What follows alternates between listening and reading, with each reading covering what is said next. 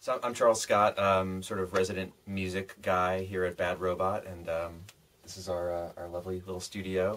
Um, and I've been using uh, recently uh, Predator SubBoomBass and uh, the RG plugins uh, a bunch. Um, just starting to kind of really get into them. So here's a uh, just a preset just this morning I stumbled onto in Predator, um, which is a kind of thing I'm always looking for, like something great for playing chords, but that's not necessarily a slow pad. And I seem, you know, a lot of synths have these really slow, evolving pads, which are great and really pretty. But I think in the in the stuff that's sort of faster tempo or like pop music, the need for something that's sort of, uh, you know, chordal but kind of happens and gets out of the way. Um, sometimes I have a hard time finding those kinds of sounds, and uh, there there's like dozens of them in here that I was uh, going through. Um,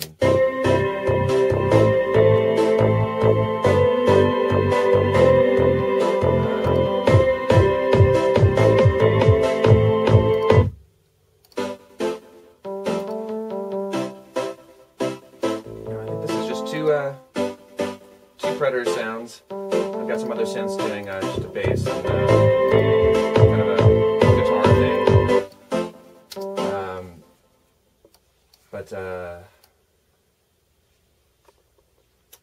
let's see what else. What else can we say here? Um,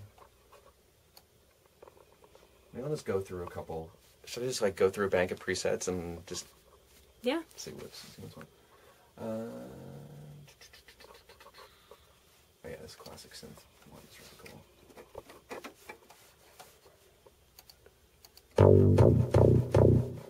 Um, so yeah, I, I, I tend to go straight into the, the classic synth bank um, as I like classic synths, um, and uh, just all these seem to be like like all these like Juno based things, like that, just that really nice blend of like the deep sounds with just like you know a little bit of bite.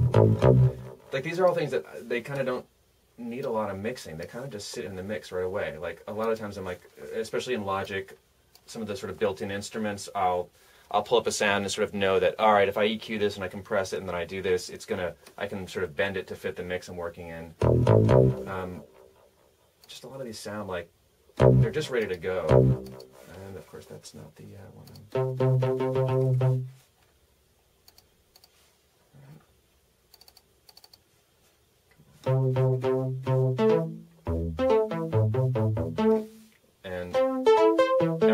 arpeggiators. By everyone, I mean at, at least I do. Um,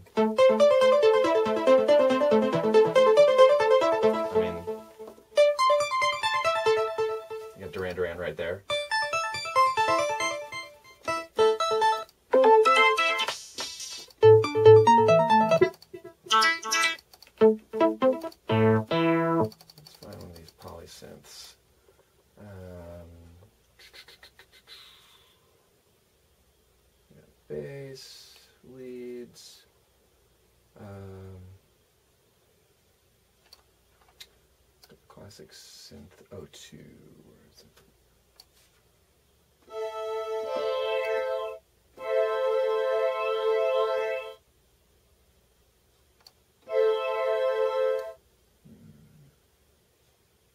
Hmm.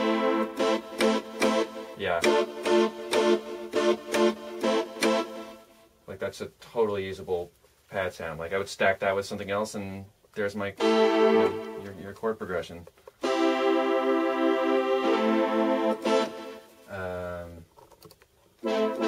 Haven't gotten too much into the actual like. Uh, again, I've just had so much fun playing with the presets. I haven't really dug into the interface that much, um, but I feel it's not an intimidating interface. Um, it feels like all the controls are there, but um, I would just, you know, I don't want this to be. I'm not knocking on this, but um, like one of my favorite synths in Logic is the uh, the ES2, but it's the most confusing interface. It has this rotating wheel that um, no, no one knows what that does.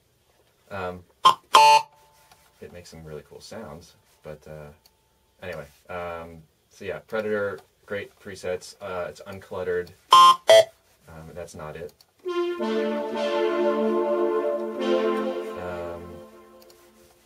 Do you want to maybe show the RG just for yeah, a second too? Sure.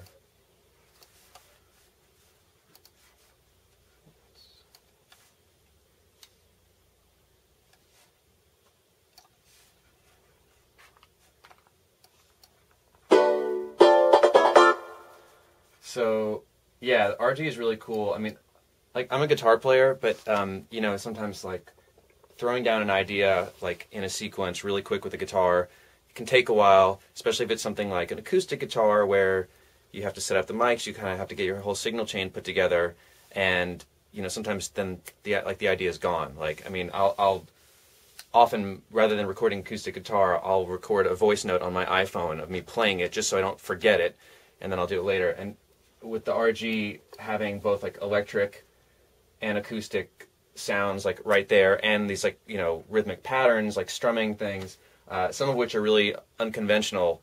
Um, it's cool not only to be able to play ideas like I already sort of have, but also just sort of stumble again like the the cool thing about presets is sort of stumbling onto a sound that you didn't think of. And you know, it's, it's obviously it's it's tempo synced. Um, you know, and then to have you know on the keyboard to have the you know major chords in one area and kind of the you know minor seven chords and that would be our minor seven I guess. Um, and let's pull up one of the acoustic uh, sounds.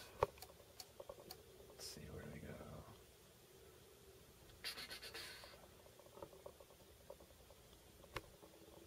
go. Uh, steel string. Here we go.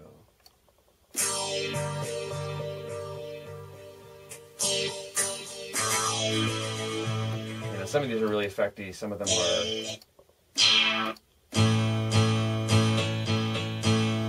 Some of them sound more like a straight guitar than others. Um,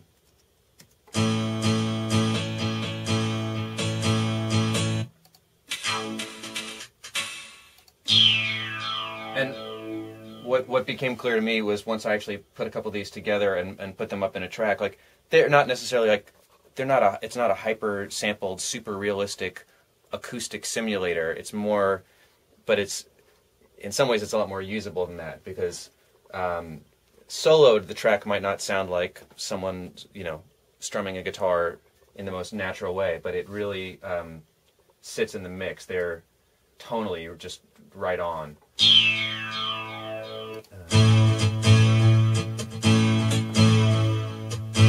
I think this is actually one of the presets I used uh, the other day, and uh, you know, and then to just have that as a tempo locked thing and be able to still be playing with the tempo of the song and stuff, and not worry about that. It's really cool. Um,